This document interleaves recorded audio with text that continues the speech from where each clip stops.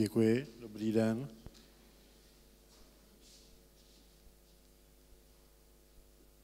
Ještě vteřinku, jenom tady vyzjistím, proč se mi to tady nepřepíná.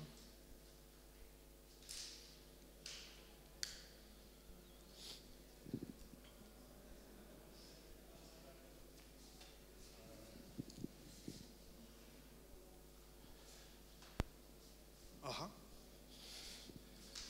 Přece jenom budu tady.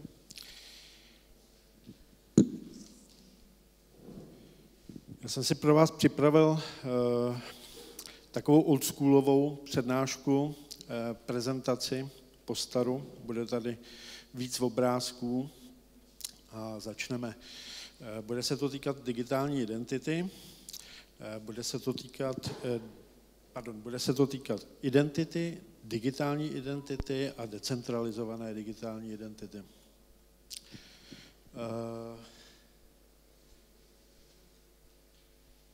mám vlastně na vás taky takovou otázku, jestli máte představu, kolik z vás uh, má kolik digitálních identit, uh, jestli si vůbec uvědomujete, že pořízením prvního e-mailu, který když jste si pořídili, tak jste si pořídili digitální identitu, pomocí které vystupujete eh, v onlineovém prostoru. Eh, když se to tak vezme, tak takových digitálních identit vlastně člověk za svůj život nazbíral poměrně hodně. Eh, když si vlastně pak člověk uvědomuje ještě různé slevové kartičky, tak vlastně se to začíná hodně načítat. Eh, otázkou je, jestli vlastně takovou digitální eh, identitu potřebuji. Svým způsobem ano, protože ve chvíli, kdy chci někde vystupovat, tak vlastně nemůžu být jeden z tisíce, ale musí někdo vlastně mě umět digitálně pojmenovat.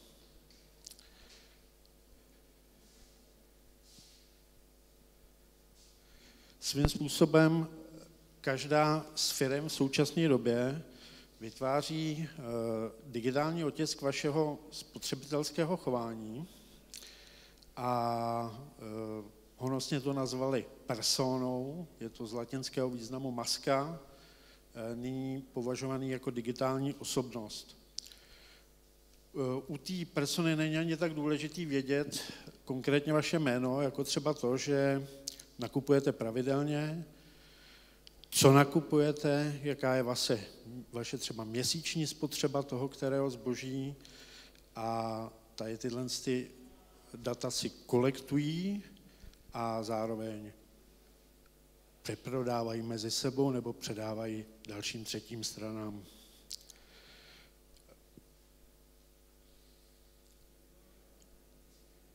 Vlastně díky tomu, jakým způsobem v současné době ty velké firmy zpracovávají vaše data, tak přichází na řadu myšlenka, že stojí za to si vytvořit jakousi decentralizovanou digitální identitu, pomocí který eh, můžeme zajistit to, aby jsme naše data buď neposkytovali, nebo poskytovali za úplatu, nebo poskytovali eventuálně za nějaký další, nebo k nějakému dalšímu účelu.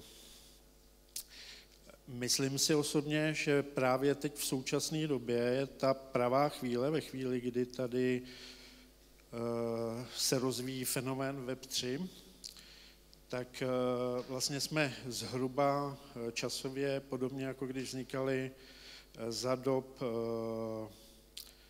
webu dvojky, eh, když vznikaly první domény, kdy vlastně jsme mohli nějakým způsobem eh, o nějakou dobrou digitální zapamatovatelnou identitu zabojovat.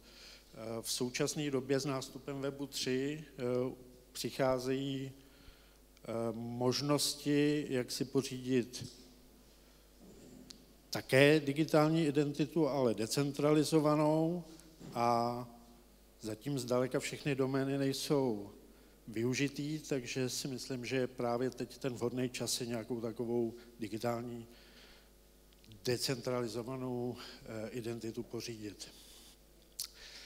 Já bych se teda teď konečně představil. Pavel Hochman. Vlastně díky Pavlovi Říhovi jsem se seznámil s fenoménem Webu 3. Stal jsem se také jedním z prvních členů komunity, pardon, stal jsem se taky jeden z prvních členů komunity vzdělávací, která o Webu 3 předává další zkušenosti našim členům. S chodou okolností v současné době dělám obchodního ředitele vizuálního studia Molkivision a to bylo jenom velmi krátké představení, protože dneska jsem tady především za svoji digitální identitu Pablo.cz.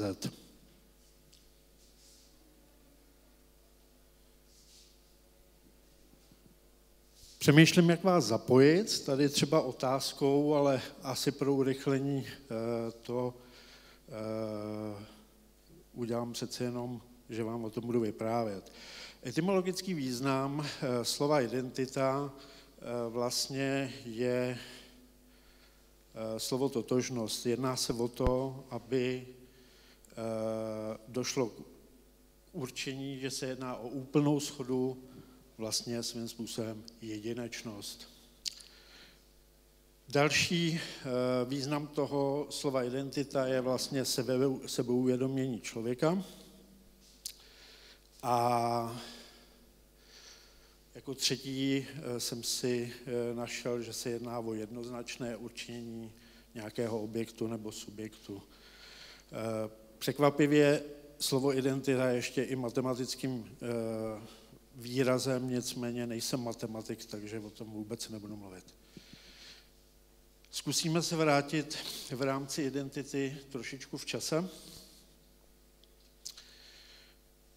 Tady vidíme například umělou inteligencí vytvořenou party v jeskyni a přejdu k takovému zajímavému citátu, takovému docela smutnému, ale moudrému citátu.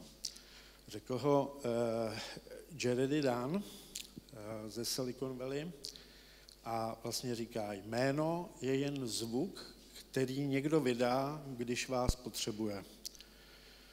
Svým způsobem je to neuvěřitelně hluboká myšlenka, na který, nad kterou jsem se nikdy předtím, než jsem se připravoval na tuhle prezentaci, vlastně nezamyslel. Zkusíme vlastně to vzít opravdu od začátku. Zvuky, kterými se oslovovali jedinci v tlupě nebo v té jeskyni, tak vlastně se začaly nějakým způsobem tvořit, opakovat a vznikly z nich jména. Jak rostl počet obyvatel, tak vlastně došlo k tomu, že se začaly používat i příjmení a pak takové věci jako vztahový ke svýmu předkovi jako Svensson, tedy Sven, syn Svena, nebo po případě k rodu a území. No a protože vlastně i tam to potom šlo do toho, že se to začalo opakovat, se ještě začaly používat čísla u známých panovníků, třeba Karel IV. nebo Jindřich VIII. No a v rámci matričních zápisů tam vlastně vznikaly za datumem pořadová čísla. Tady tohle z toho hodně přeskáču, protože se jedná o nedigitální záležitost, jaký všechny identity existovaly.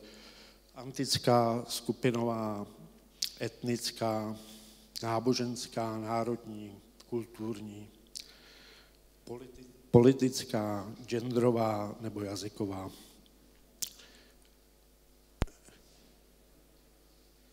Vlastně historie digitální identity vzniká příchodem internetu.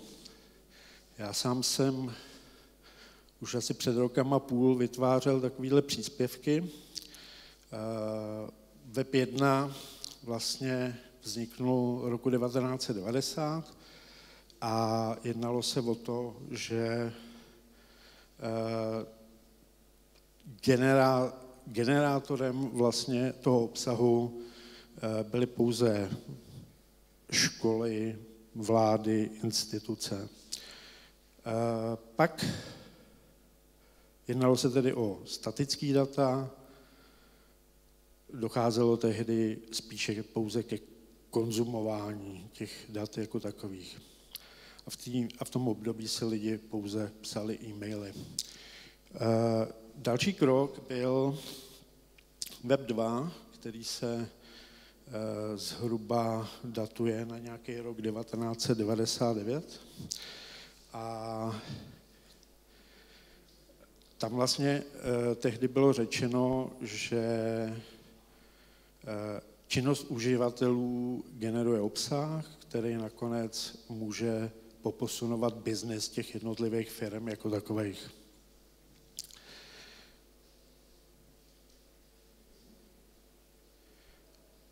Na tom webu 2 vlastně už byly firmy, jako je, já nevím, třeba Facebook, který umožňovali, aby si tam člověk kolektoval svoje fotografie, příspěvky, po případě, aby tam generovali i nějaké svoje obchodní aktivity.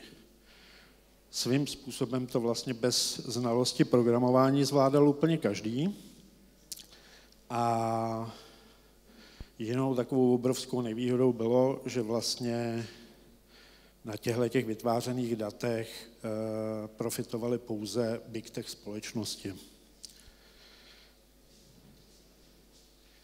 A teď vlastně přicházíme k tomu nejdůležitějšímu, a to je Web 3.0, který nám vlastně umožňuje bezpečnější a svobodnější využívání těchto těch dat, omezování díky decentralizovaným systémům, vlastně omezování sledování nebo omezování přístupu k vašim uživatelským datům a podobně.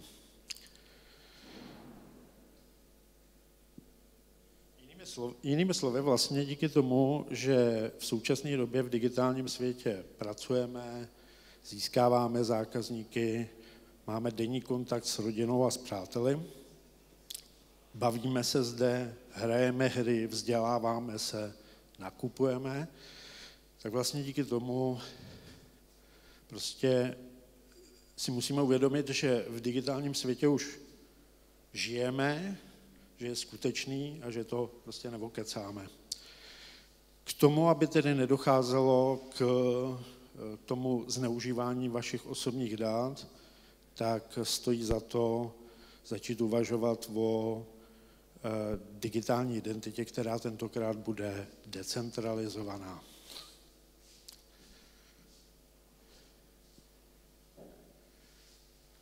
Digitální identita je vlastně informace, číselný kód, kterou počítačové systémy používají k reprezentaci osoby, organizace nebo nějakého programu, či dokonce hardwaru jako takového. Je pravda, že nám ty digitální identity a digitální systémy umožní automatizovat přístup ke službám, k počítačům, po případě ke službám. Digitální identita kontrolovaná centrální autoritou má snad jediné dvě výhody. Někdo se vám o ní stará, ale určitě ne zadarmo. Kolektováním dat vlastně je možnost, že dochází k přeprodávání těch informací a tím ty firmy vydělávají. A je tam malá možnost, že v případě, že si ji sami smažete nebo je vám zcizená, tak se vlastně můžete u té centrální organizace nebo u té centrální autority pokusit získat nové přihlašovací údaje. Myslím si, že tím celý ten výčet končí a že pak už stojí za to opravdu se věnovat té decentralizované digitální identitě. To nejdůležitější, data o vašem chování, často i v normálním životě, ale nejenom v normálním životě, především v tom onlineu, patří vám. Máte možnost rozhodnout, komu svá data svěříte nebo propůjčíte, po případě speněžíte.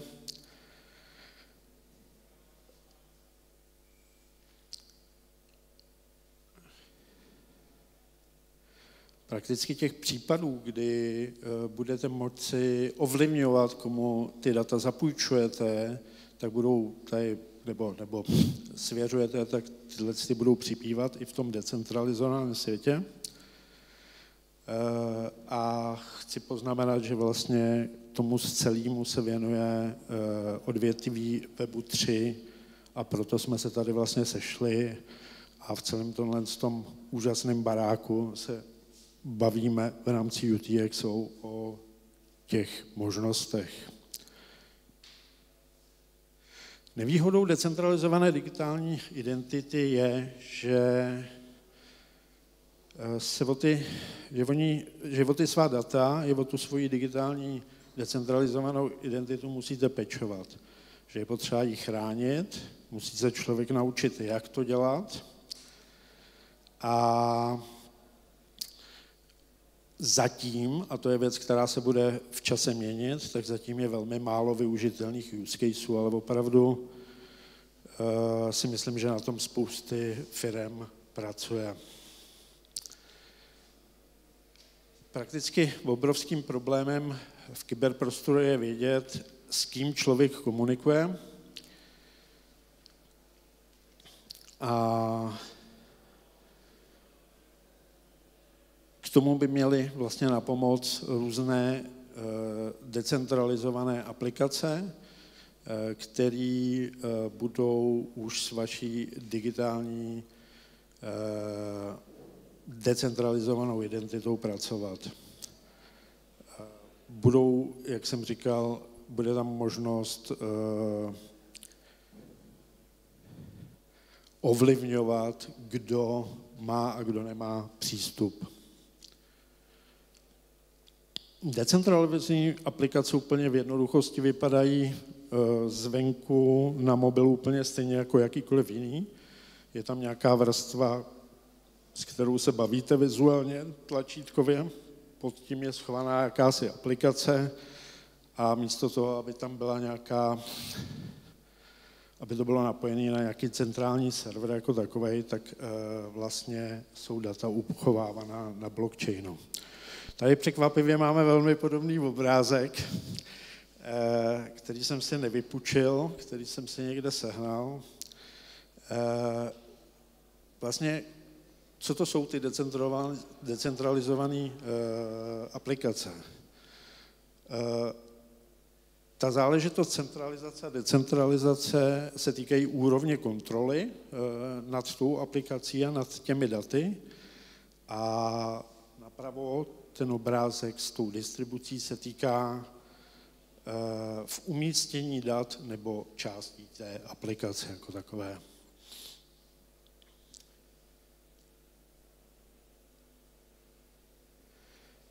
Tady je poměrně hodně slov a já je to asi pro jistotu přečtu, protože eh, to jsou tvrdá, eh, tvrdá data. Eh, elektronické obchodování má obrovský problém s identitou vlastnictví, padělky a vlastně celé tady tohle v rámci celosvětového obchodu je vyčísleno na 3,3 a jedná se prakticky o obrovský, o obrovský množství financí, o které přicházejí eh, firmy. Eh, padělky nejenom znehodnocují zboží, ale mohou být svým způsobem nebezpečný a eh, leze to do desítek miliard dolarů.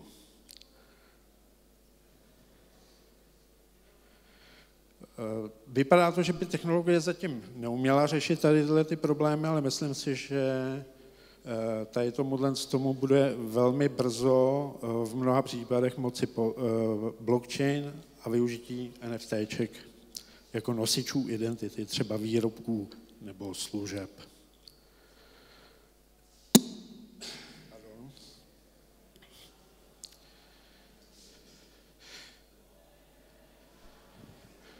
Tak pro digitální reprezentaci entit je důležité důvěřovat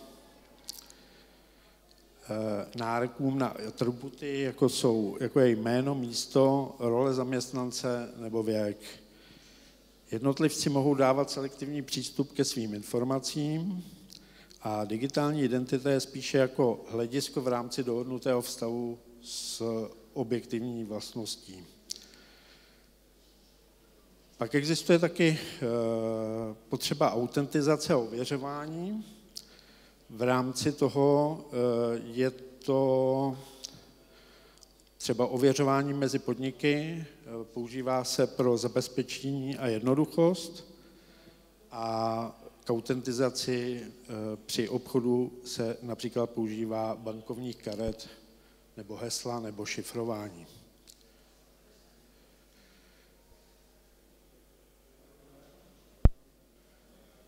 Tady jsem se vrátil k části toho eh, citátu, eh, jak zapracovat na tom, aby zvuk, který je jen v tomto případě vaše jméno, jsme mohli využít na maximum. Eh, k tomu vyžití je potřeba vlastně k té digitální identitě nejlépe přidat i svoji osobní značku, a pečovat o ní.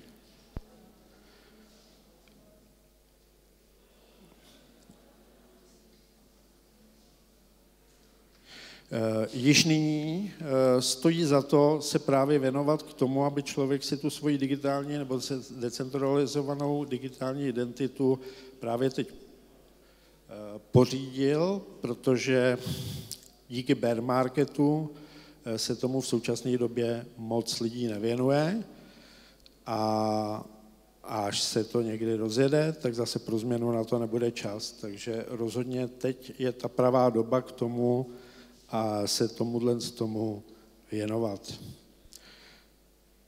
Tady už uh, se chýlím pomaličku ke konci. Tady jsem dal jenom úplně malinký, kratičký výčet digitálních identit, kdy zrovna Eh, třeba tu první Pavel Lochman zavináč aol.com jsem si pořídil v roce 1996. O rok později jsem si pořídil Yahoo.com. Mimochodem dneska u rozdávání poapů přišla jedna dáma a když nám tam nechávala e-mail, tak ho měla s u Yahoo taky, takže vypadá, že Yahoo ještě existuje. Eh, někdy zhruba asi před 20 lety eh, vím, že eh, v rámci vlastní firmy jsme si zakládali doménu Setra, pak jsme schánili nebo sehnali doménu sluchátka.cz jako pro podnik. Vlastně nemusí se jednat o digitální identitu osoby jako takové, ale celého biznesu. To je třeba ten příklad toho, eh, té domény sluchátka.cz. Eh, zhruba asi před dvěma lety jsem si pořídil Future zavináč Pablo.cz a před měsícem jsem si pořídil Pablo.cz.com. Napravo je výčet decentralizovaných identit, kdy v současné době ta první s případnou ETH se používá pro eh, pojmenování vaš, vaší vlastní kryptopeněženky. Eh, Pablo CZ Lens je identita pro komunikaci na síti Lens decentralizované a těch decentralizovaných domén vlastně pomaličku přibývá. Tady vám povím takový velmi krátký příběh, eh, kdy někdy v roce 2012 jsem si pořídil i doménu pavelzavenáčhochman.cz eh, a vlastně tehdy jsem se zajímal, kolik nás vlastně takových Pavlů Hochmanů jako takových je. A narazil jsem tehdy na mého dvojitého jmenovce Pavla Hochmana, to nejsem já, tady ten pán, a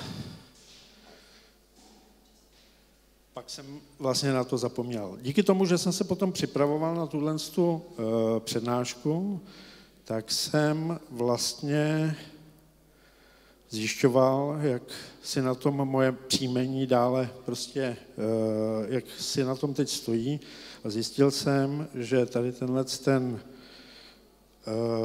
Pavel Hochman zemřel v roku 2018 a že už není mezi náma. Co se týče té tý budoucnosti, tak eh, tady už je opravdu jenom pár slajdíků. Eh, digitální identita prakticky bude eh, hrát klíčovou roli v oblasti bezpečnosti, identifikace, autorizace. A vzhledem k tomu, že vlastně v současné době jde vytvořit díky umělé, umělé inteligenci Eh, buď natočit video, nebo přímo rovnou vysílat fake video v reálném čase. Tím fake myslím, že vkládáte s vámi myšlená slova známým osobnám, tak vlastně této digitální identitě nebo decentralizované digitální identitě bude v budoucnu využívaná právě k tomu, abyste mohla, mohli prokázat uh, svému okolí, že komunikují skutečně s vámi. K tomu budou sloužit teda kromě té eh, decentralizované digitální identitě i blockchainová technologie. Myslím si v rámci posledního řádku, že eh, mnoho eh, různých firm a projektů v současné době už vzniká. Tady jsem si dovolil také krátce zmínit knihu, která pro lidi, kteří uh, nemají ucelenou představu o tom, co všechno spadá pod Web 3, tak uh, aby ji vlastně si ji pořídili v současné době na tom kódu, který v současné době tady teď svítí, nebo kdybyste chtěli, tak stačí mě oslovit, tak prostě je v současné době zdarma Eh, stáhnout. Tady je pár řádků o zdrojů, odkud jsem čerpal. A chci vám poděkovat za pozornost a kdybyste mě někdy někde potkali, tak mě neváhejte kdykoliv oslovit a v případě, že vás něco zajímá, tak se jí zeptat. Ještě jednou díky.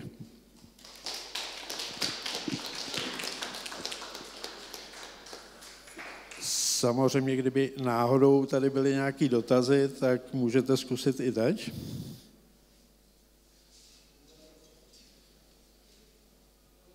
Paráda, vypadá, že se budu moc napít, už mě nějak vyschlo, takže díky moc.